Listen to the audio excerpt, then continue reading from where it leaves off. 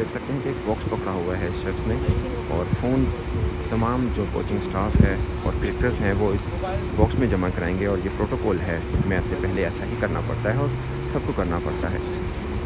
देख रहे हैं कि इस बॉक्स के अंदर सबके फ़ोन रखे जा रहे हैं। सभी हम अपना फ़ोन निकाल रहे हैं बैग से।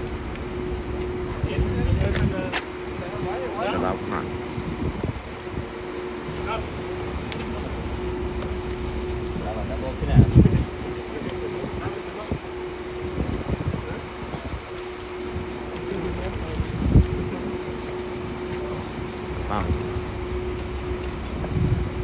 देखिए दोस्तों, जितने भी आ रहे हैं, सब अपना फ़ोन यहाँ बॉक्स में जमा करा रहे हैं। नवाज़ का फ़ोन नहीं है उनके पास। आसिफ अली भी अपना फ़ोन जमा करा रहे हैं। शान मसूद जो भी अपना फ़ोन यहीं पे जमा करवाएँगे। पाकिस्तान टीम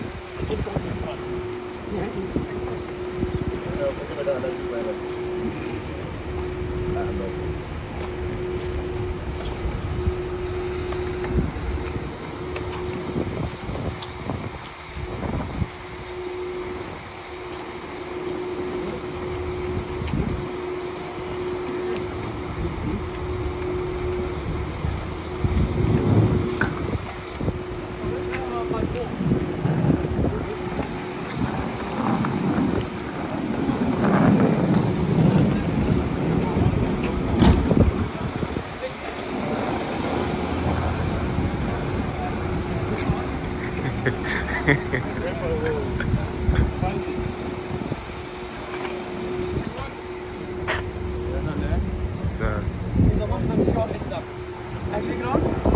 दोस्तों, ये बस है पाकिस्तान टीम की, जो सिर्फ़ अकेली बस है। यहाँ पे जैसे आप देखते हैं पाकिस्तान में कि बहुत प्रोटोकॉल होता है, वैसा कुछ नहीं है न्यूजीलैंड में। ये पहले बांग्लादेश के खिलाड़ी पहुँचे, उनकी भी सिर्फ़ एक बस है जो पहुँची है।